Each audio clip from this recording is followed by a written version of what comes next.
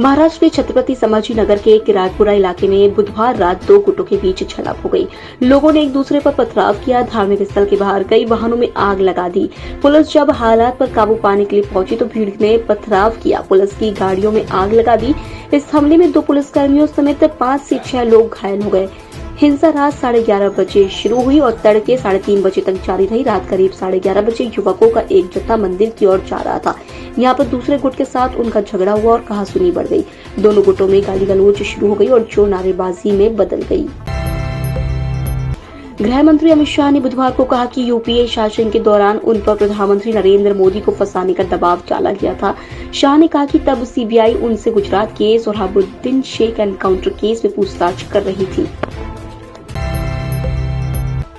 कांग्रेस नेता राहुल गांधी की संसद की सदस्यता जाने के बाद से न सिर्फ़ भारत बल्कि दुनिया भर से प्रतिक्रियाएँ आ रही हैं।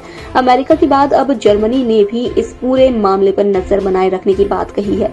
राहुल को संसद से बर्खास्त किए जाने पर जर्मनी ने चिंता ज़ाहिर की है।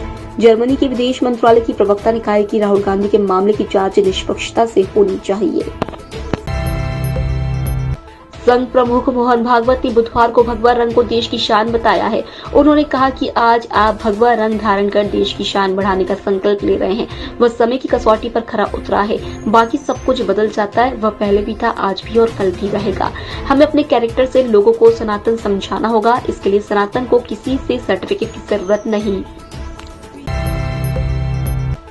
कोरोना के मामलों में एक बार फिर तेज़ी देखने को मिली है। छह महीने में ऐसा पहली बार हुआ है, तब एक दिन के अंदर रिकॉर्ड तीन हज़ार सोलह लोग संक्रमित पाए गए हैं। इसके पहले पिछले साल 2 अक्टूबर को सबसे ज़्यादा तीन हज़ार तीन सौ पिछहत्तर मामले दर्ज किए गए हैं।